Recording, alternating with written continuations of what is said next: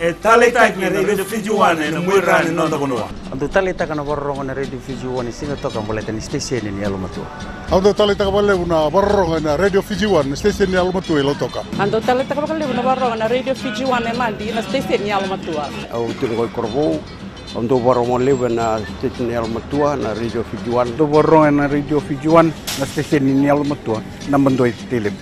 Na radio nandu mai bitin bonga ni.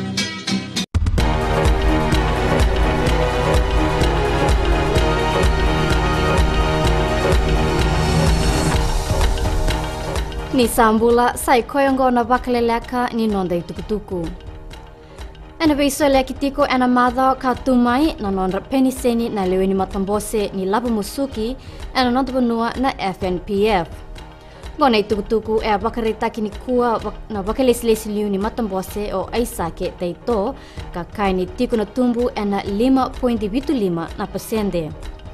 go kene mbale mbale ni ndona nrau milion miliona dola erna na leoni motambose karau menangai vakau tikina nonda akaunde ena mbongni moniti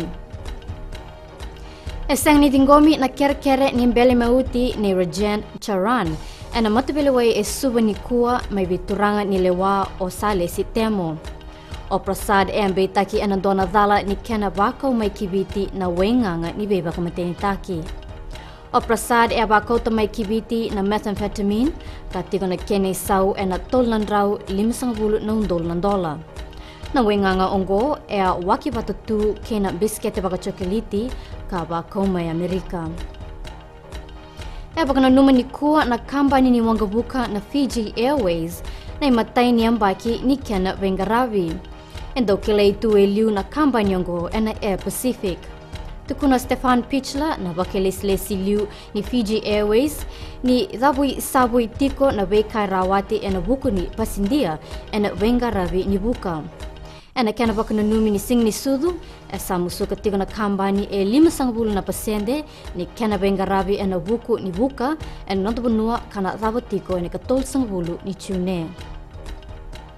Kinigito, ertosabakanamata na Vodafone Flying Fijians kina sota-sota ni Mataka.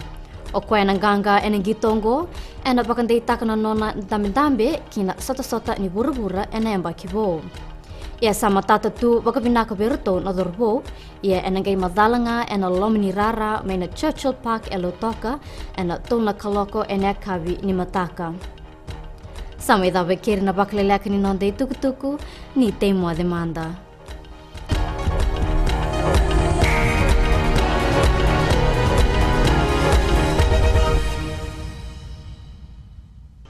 FM is number one here in Sigatoka. Gold FM is our favorite radio station here in Lautoka. Gold FM is number one in Nel. I love listening to Gold FM in Ba. We love listening to Gold FM, only the classic hits here in Suva. Hear about Batu Cola, you immediately think of gold. I'm Josephine Sabi and I love hearing Gold FM. Gold FM, only the classic hits.